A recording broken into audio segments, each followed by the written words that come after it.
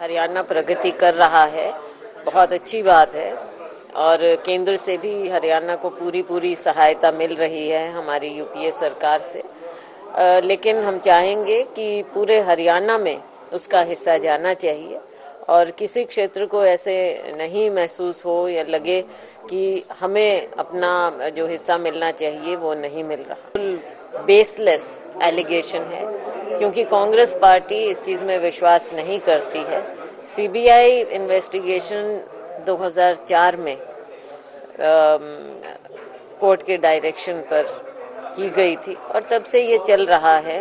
और कांग्रेस पार्टी कभी सीबीआई को इस तरह इस्तेमाल नहीं करती है। आपने देखा है कि पीछे कितने इस तरह की इंक्वायरीज हुई हैं।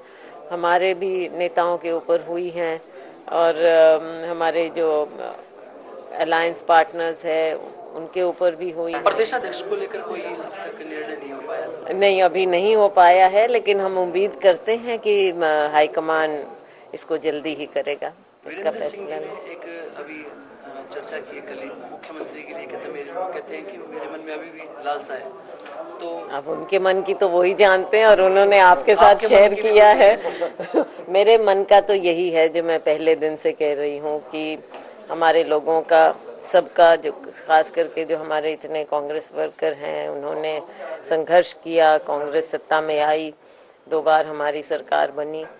हमारे सभी जो हरियाणा के क्षेत्र हैं, सबका समान विकास हो, हरियाणा फले फूले यही मेरी इच्छा है और केंद्र से भी पूरी पूरी मदद हरियाणा सरकार को मिल रही है और हम चाहेंगे कि और भी ज़्यादा मिले ताकि हमारे लोगों को फ़ायदा हो। मेरी सिर्फ़ यही अच्छा है कि यहाँ पर हमारे लोगों को पूरा पूरा फ़ायदा मिले।